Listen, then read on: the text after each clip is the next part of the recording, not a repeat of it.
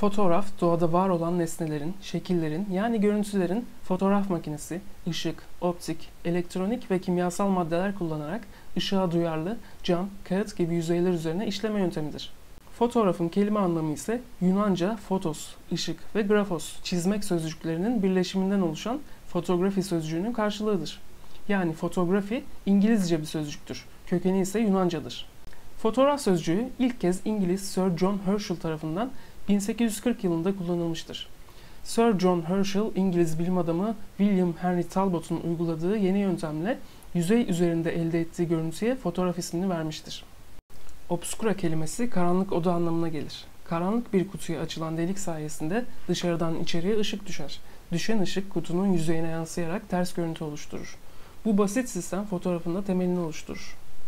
Karanlık kutu, iğne deliği gibi isimleriyle de bilinen kamera obscura'nın tarihi M.Ö. 4. yüzyıla kadar uzanmaktadır. Fakat bu teknik ilk olarak 10. yüzyılda Arap bilim adamı İbn Leysam tarafından kullanılmıştır. İbn Leysam bu ilkel karanlık kutuyu güneş tutulmasını izlemek amacıyla kullanmış. 15. yüzyılda ise Filippo Brunelleschi aynı teknikten yola çıkarak büyük bir kutu içinde perspektifin kullanımıyla ilgili çalışmalar yapmıştır.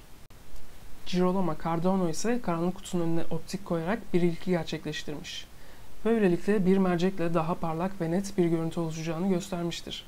Sonraki yıllarda Daniele Barbaro bu merceğin sayısını ikiye çıkartarak bir üst seviyeye taşımıştır.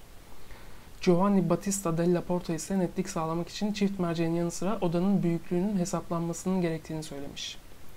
1604 yılında Johannes Kepler fotoğraf makinelerinde kullanılan ayna yansıması kuralını keşfeder. Kepler aynı zamanda kamera obscura kelimesini bize kazandıran kişidir. 17. yüzyılda kamera obscura'nın boyutunda küçülme olur. Daha sonraları taşınabilir hale getirilen obscura günümüze kadar aşama aşama ilerleyerek bize fotoğraf makinesini kazandırmıştır. Fransız mucit Joseph Niepce 1826 yılında tarihteki ilk fotoğrafı çekmiştir. Niepce kamera obscura'yı kullanarak görüntüyü kurşun kalay alaşımı özel bir plakaya düşürmüştür. Bu plaka bitümen denilen ışığa duyarlı bir maddeyle kaplıydı.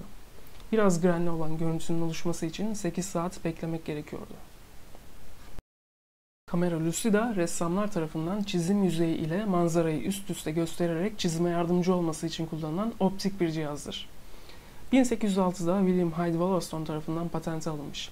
Aslında 200 yıl önce 1611'de Johannes Kepler'in Dioptris kitabında bahsettiği aletin yeniden icadı olduğu açık. Fakat 19. yüzyılda Kepler'in tanımı tamamen unutulmuş. Bu nedenle kimse Wollaston'un iddiasına karşı çıkmamıştır. Kamera lucida terimi Wollaston'a aittir.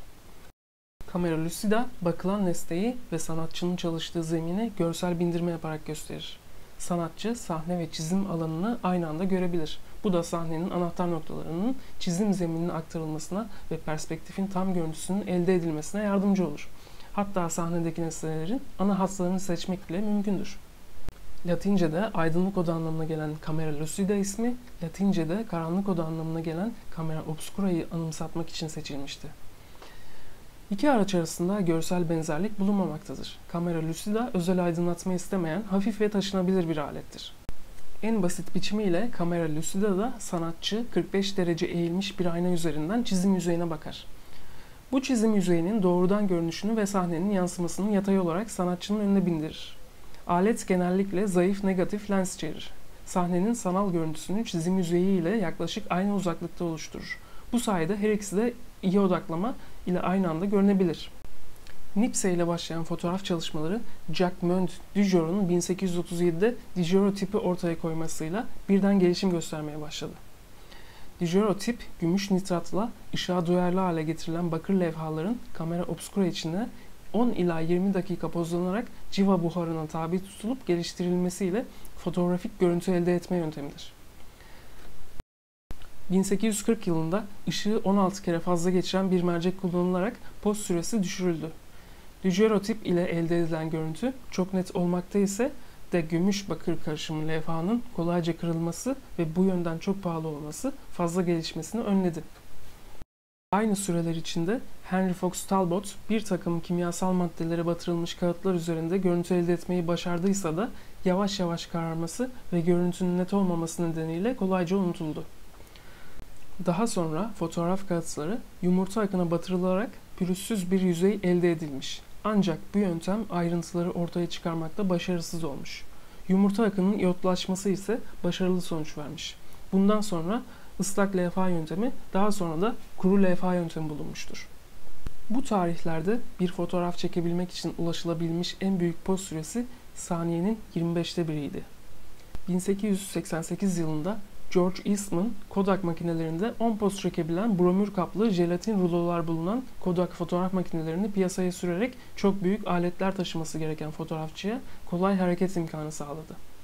Fotoğraflar çekildikten sonra makine fabrikaya gönderiliyor ve film makineden çıkartıldıktan sonra makineye yeni film takılarak sahibine iade ediliyordu. Fotoğraf 19. ve 20. yüzyılda değişik astigmat merceklerin, selülozik filmlerin kullanılması, fotoğraf makinesi ve film sanayindeki gelişmelerle günümüzdeki durumuna geldi.